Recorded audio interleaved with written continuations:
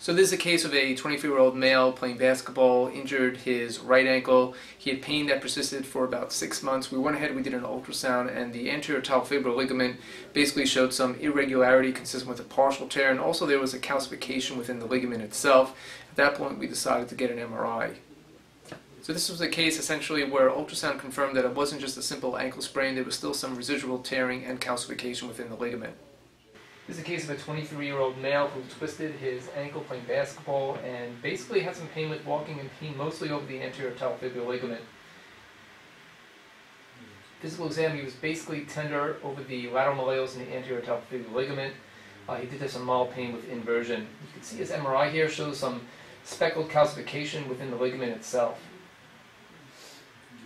Here's this ultrasound, basically the probe right over the anterior talofibular ligament, and you can see that calcification within the ligament itself, and above the calcification you see some hypoechoic signal consistent with a chronic partial tear.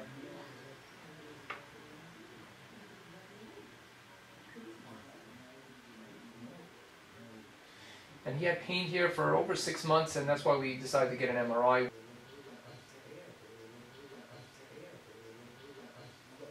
Here's a comparison view of his normal ligament compared to the injured side, which is on the bottom of the screen.